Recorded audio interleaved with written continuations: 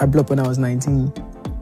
Or like, I started getting balls when I was like 17, but I blew up when I was like, people said, no, Wizkid 19, you know, like, so I was young. And when I had my kid, the media was like so harsh on me back home. So it's like, saying like, oh, look at the headline, was like, Wizkid impregnates an undergraduate.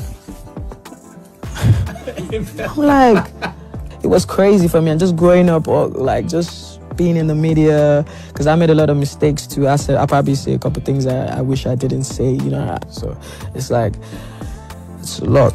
It's like you're 20, you get a phone call. Yo, Wiz, I'm late. How did that feel? Jesus, I felt like I disappointed everyone. Like I felt like I disappointed myself. First of all, not like that wasn't that, that it's a blessing. My kid is a blessing. Like I love my son to death. Like I have him tatted on me. Like I show him so much love.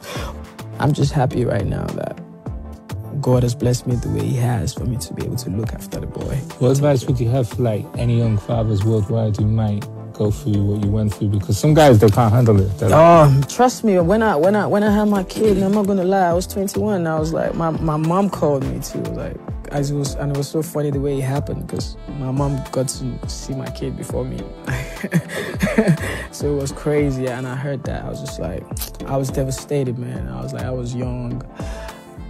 I was just making, you know, I, I blew up when I was 19, or like, say, I started getting when I was like.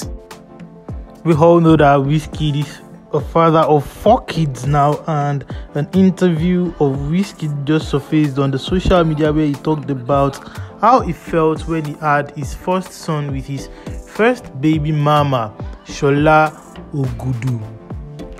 Well, we all know that some years ago, Wizkid had his first son, Boluwatife Balogun, and well, there were controversies that surrounded the birth of the boy. At first, according to Shola Ogudu, Wizkid never wanted to take responsibility of the, you know, boy as Wizkid said, he was not the father of the boy until DNA proves that Wizkid is the father of the boy. According to the video you guys watched earlier, Wizkid said he felt like, oh, he, you know, um, disappointed himself despite the fact that he loves the boy so much, he lost the boy to death. Like with his life, Wizkid actually loves this boy.